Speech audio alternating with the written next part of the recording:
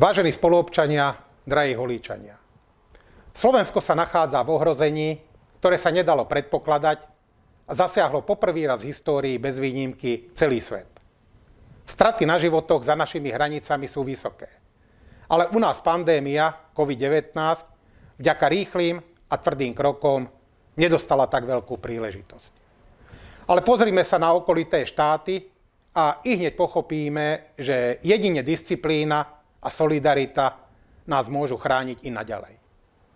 Vláda Slovenskej republiky schválila zákaz vychádzania cez Veľkú noc a zakázala tiež zhromažďovanie ľudí. Voľný pohyb ľudí bude obmedzený od 8. do 13. apríla. Prišlo k rozšíreniu opatrení núdzového stavu podľa zákona o bezpečnosti štátu náročné a pre všetkých občanov mimoriadne ťažké riešenie práve vzhľadom na Veľkú noc. Výnimku z obmedzenia majú len cesty do zamestnania, nákup potravín, návšteva lekára, pohreb príbuzného a pobyt v prírode v rámci okresu. Hranice skalického okresu je potrebné naozaj rešpektovať.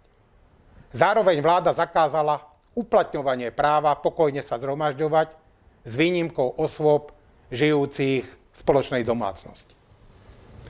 Ochrana spoločného záujmu a verejného zdravia sa takto stali prioritou. Dodržiavanie zákazu budú kontrolovať hliadky a príslušné štátne zložky. Situácia od druhej svetovej vojny ešte nikdy nebola vo svete takto vážna. Aj keď sa to na prvý pozhľad nezdá, pandémia koronavírusu je všade okolo nás. Prioritou je poraziť ochorenie, hrozbu, ktorá napáda najmä našich starších spoluobčanov. Myslíte prosím na svojich rodičov a starých rodičov.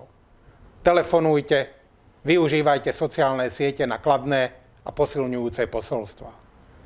Veľká noc si zaslúži pokoru, mier v dušiach a šírenie spolupatričnosti medzi susedmi. Nepokúšajte sa obísť systém a neohrozujte neuváženým správaním svojich blízkych a spoluobčanov. Veľká noc je upevnením viery, prehlbením dôvery, posilnením spolupatričnosti a obrovskou pripomienkou našich historických kresťanských koreňov. Obrovská symbolika pre boj národa, ktorý sa ocitol vo veľkom ohrození. Sám by som bol veľmi rád so synom, nevestou a mojou milovanou vnúčkou. Ale povinnosť prikazuje ostať s manželkou Silviou doma. Holíč pravidla dodrží a spoločne vykročíme k novej nádeji.